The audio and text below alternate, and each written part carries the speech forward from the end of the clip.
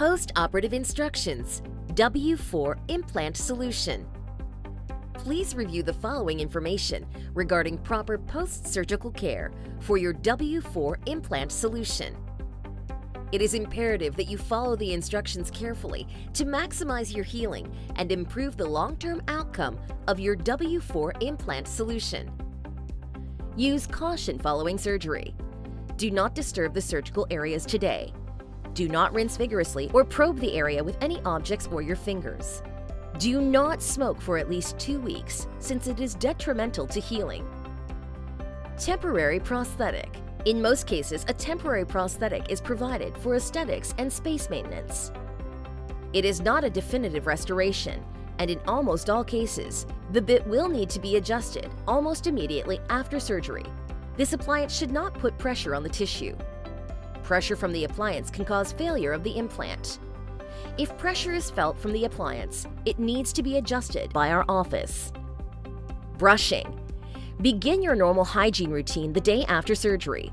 Soreness and swelling may not permit vigorous brushing of all areas, but please make every effort to clean your teeth within the bounds of comfort. Brush the prosthetic with a toothbrush and water and avoid brushing the tissue. Do not use a Sonicare around your implants until we give you authorization. Usually, this will be four to six months. Do not use a Waterpik or electric flossing device. Be aware of any other device or mechanism that can introduce vibrations.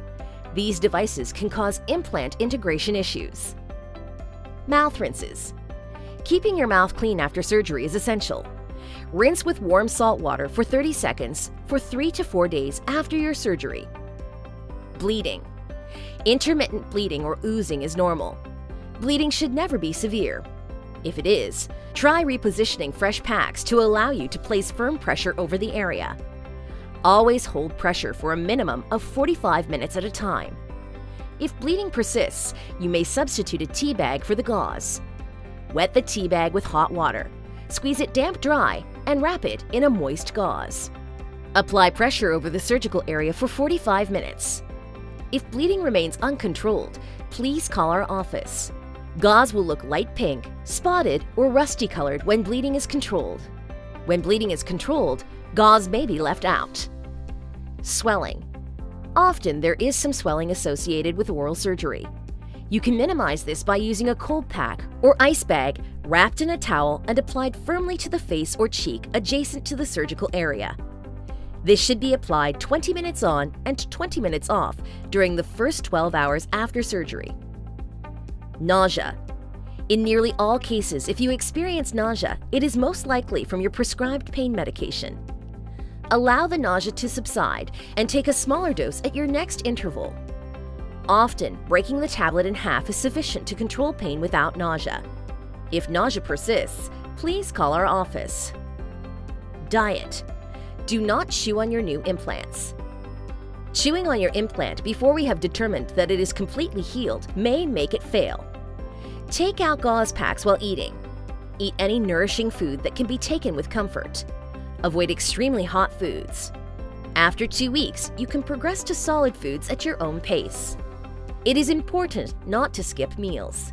If you take nourishment regularly, you will feel better, gain strength, have less discomfort, and heal faster. If you are diabetic, maintain your normal eating habits as much as possible. Follow instructions from us or your physician regarding your insulin schedule.